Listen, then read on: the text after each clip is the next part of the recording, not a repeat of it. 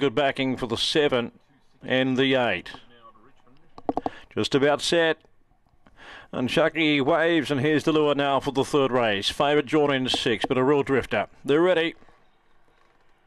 And racing fast away, Landon's mate showing speed, kicks angle the fence, and here's the favourite Windsor Rose working into it, followed by Polish Pierogi, then came Crazy Casey, followed by Percy's Princess and Hey Pepper, kicks angle the leader, Landon's mate checked off heels, followed by Crazy Casey and Windsor Rose, but King's Angle is clear, and kicks angle home. Second in the race went to Hey Pepper, Crazy Casey, then Windsor Rose in four, followed by Zame, Landon's mate, Percy's Princess and Polish Pierogi, the time 18 and 4.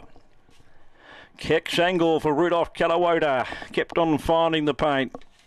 They came out after him, but uh, after her, but she's just too strong for them here. 210, 763, run home 1084, the time 18 and 47.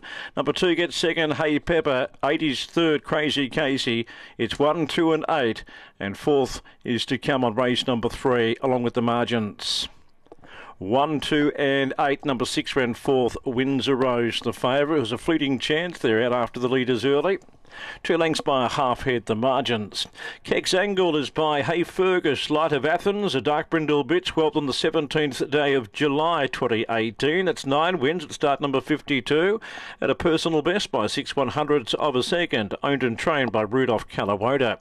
Number two, second, Hey Pepper for Aaron Williams by Hey Fergus out of Morble Betty, and eight gets third in the race. That Greyhound Crazy Casey for Dennis Hampson by Spud Regis, Little Sienna. All clear, one, two, eight eight and six. So all clear on the previous.